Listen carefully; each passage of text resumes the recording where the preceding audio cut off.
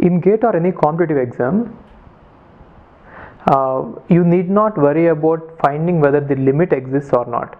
For most of the questions, they'll ask you the limit questions only when they exist. So how do you find it out? Simple. If it is a multiple choice question, just look at the options. In the options, if they don't have anything like limit exists or limit does not exist, then go for simply normal uh, application of limits. And how to do that? There are various techniques.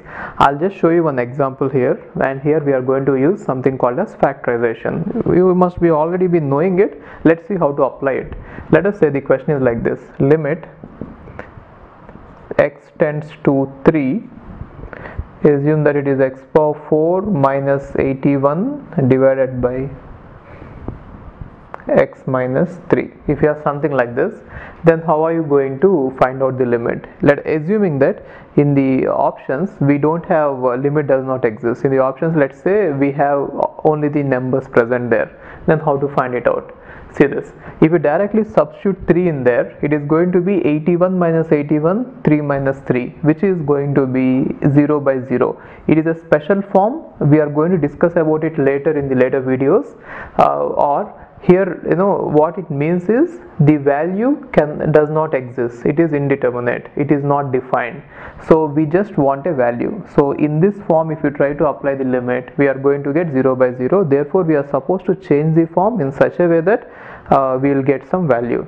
So let's use the method called as factorization. See one simple clue is whenever you are substituting 3 here it is giving you 0 whenever you substitute 3 here it is giving you 0 what does that mean? It means that x minus 3 is a factor in this as well as in this. It is clearly visible here but it is not visible here. Therefore you can use normal division. You can find it out. Or I'm directly writing it. Uh, I think you know that formula. X a square minus b square is a minus b into a plus b. I'm just using that formula and writing it.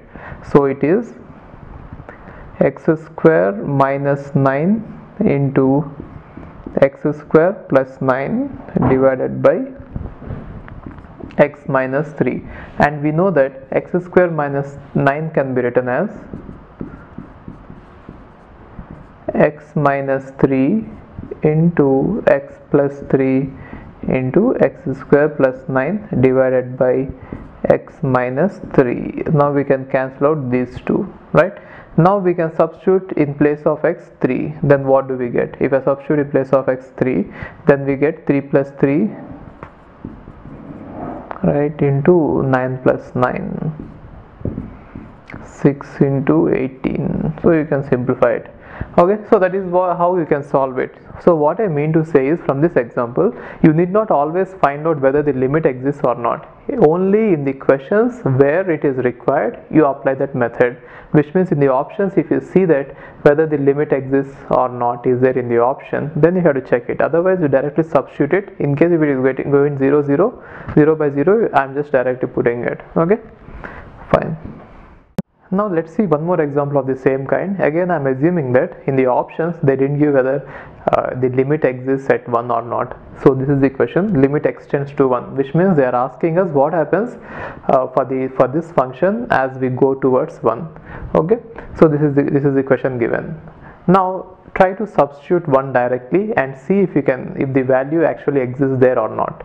So if you substitute 1 directly here I get 1 minus 6 plus 11 minus 6 it is nothing but 12 minus 12 which is 0 and here also 1 minus 1 which is 0 so if I directly substitute it that way I'll be getting 0 divided by 0 which is indeterminate form right? So what is indeterminate form? I'll discuss about it later. Or simply put there is no definite value there so what we wanted is in most of the applications we want a definite value but there is no definite value. In such cases what are we supposed to do? Simple. So since there is no uh, definite value only thing that you could do here is uh, convert it into some other form through which we can get the definite value. In most of the cases, it so happens that whenever you have the 0 by 0 form, we could apply some of the techniques and we can get whatever we wanted, that definite value. Okay. So here I am going to use a technique called as factorization. So why factorization is applicable here? Just see this. When I substitute 1 here, it is all becoming 0. It means that x minus 1 is a factor of this whenever you substitute 1 x equal to 1 if it is all going to be 0 it means that x minus 1 is a factor of it. Why? Because if this entire thing is going into 0 it means that it can it can be written as something as x minus 1 into this. Then only when I substitute x equal to 1 this entire thing will become 0 this entire thing will become 0 right? Similarly here also x minus 1 is a factor of it.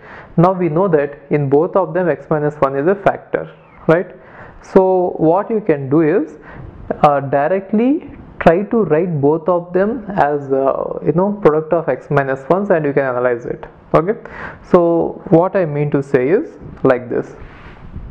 You can write this one as x minus 1 into something and this one also as x minus 1 into something and then you can cancel out x minus 1 and x minus 1 and later you can find out the value of it. Okay? Simply put what i'm trying to do is like this. So how to find out the uh, you know x how to write this one as x minus 1 into something? Simple. If you if you can divide it you do that. If you don't know how to divide it or if you are looking for a simpler some other simpler way then simple way is you can build the entire function by using this one as a building block. Just observe this. See I want to use x minus 1 as a building block and I want to build this entire function right? So let let me build it term by term. First I want to build x cube. So if I use x and if I have to build x cube then I have to multiply it with x square. That is the reason I'll be multiplying this with x square into x minus 1 now what will it give me? x cube minus x square isn't it? X cube minus x square. But what do I want? Minus 6x square. But what do I have? Minus x square. Therefore how much do I need? Again uh, minus 5x square. Therefore multiply it with minus 5x and again x minus 1 then what do I get here? Minus 5x square. Already minus x square is there. Therefore it is going to be minus 6x square. Right? And what is remaining? Plus 5x so 5x is remaining here here I have 5x and here I have 11x now what do I need? Plus 6 isn't it? 6x I need. Therefore plus 6 into x minus 1 then I get plus 5x plus 6x 6x which is nothing but 11x and then here we get minus 6 so already minus 6 is there. Therefore it is complete. So I have written the entire function as if you know it is like this. So what can I write this one as?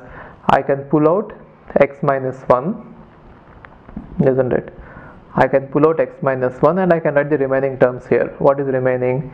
x square minus 5x plus 6 divided by so what what should I write here?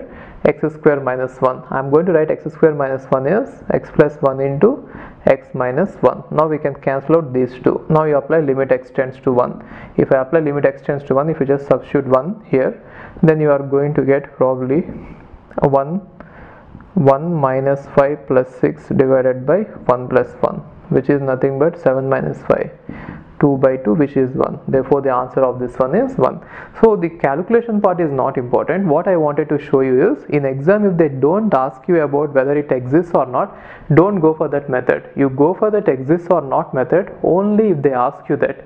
If they don't ask you that don't unnecessarily complicate it. Okay? So directly you can do it using this method. Later I'll discuss about many other methods using which you can do. Fine